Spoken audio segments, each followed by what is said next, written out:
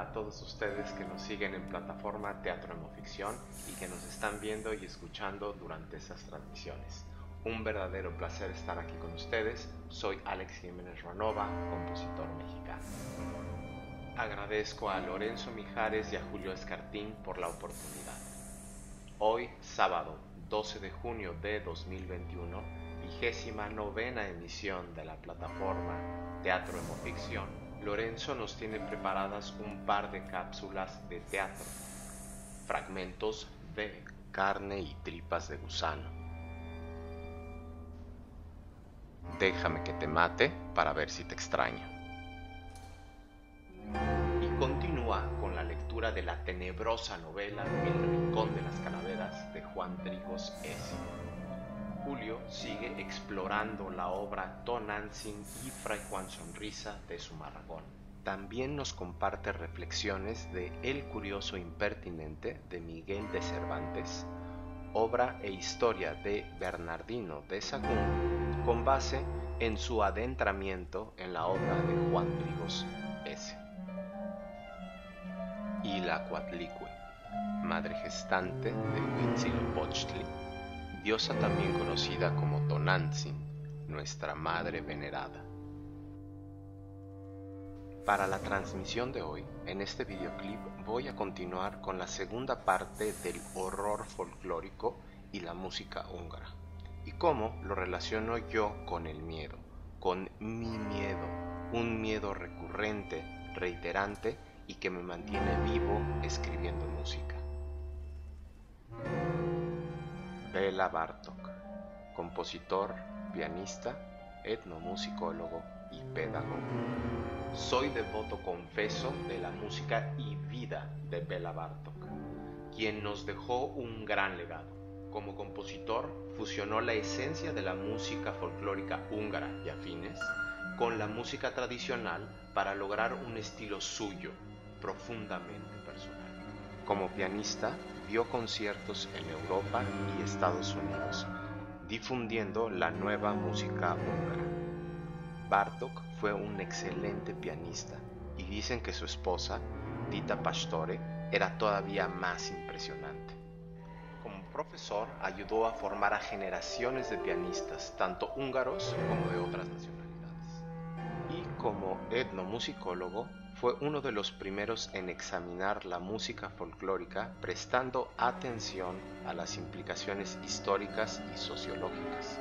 Ayudó a sentar las bases para el estudio del folclore musical comparado en Hungría y publicó varios estudios, artículos y monografías importantes sobre la música folclórica húngara y rumana. Bartok nos dejó el microcosmos, seis libros para piano que mencioné en una de las transmisiones pasadas, que escribió entre 1926 y 1939 a su hijo Peter, quien fue ingeniero de sonido y figura crucial en la difusión de la música de su padre.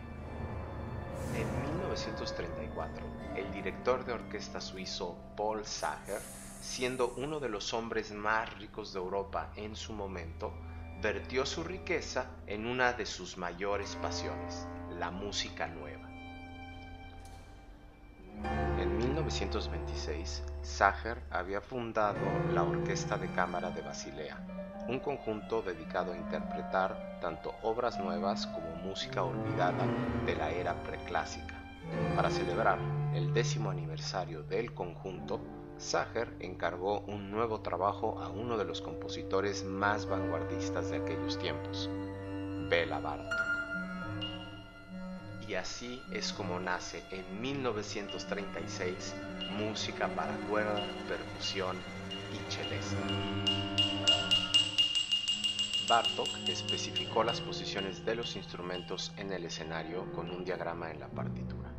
Esta configuración inusual permite efectos antifonales de las cuerdas a medida que las ideas musicales viajan por la sala de concierto. Bartok sitúa dos orquestas de cuerdas en lados opuestos del escenario, una como espejo de la otra, y en medio hacia atrás hay una gama de instrumentos de percusión y teclado, desde gilófono, timbales, caja clara, platillos, tam-tam, bombos, piano y celesta. Vamos a escuchar primero el tercer movimiento de música para cuerda, percusión y celesta, un adagio, movimiento lento. Un ejemplo de lo que a menudo se le llama música nocturna. La música nocturna es un estilo musical propio de Bela Bartok, que en su periodo de madurez utilizó principalmente en los movimientos lentos de sus composiciones para ensamble u orquesta. Se caracteriza por disonancias misteriosas que proporcionan un telón de fondo a los sonidos de la naturaleza y las melodías solitarias. Algunos de ustedes seguro reconocerán la música por la inusual e innovadora técnica de los glissandi aplicados en los timbales, así como una parte destacada para el gilófono.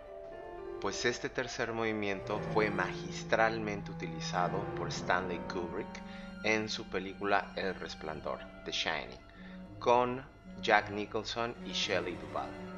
Lo mejor que hicieron Kubrick y Nicholson y basado en la mejor novela de Stephen King. Obviamente, una opinión desde mi silla. Y finalmente, escucharemos el cuarto y último movimiento, un allegro molto, una viva danza folclórica que comienza con notas forte en el timbal y acordes de pizzicato rasgueado en las cuerdas.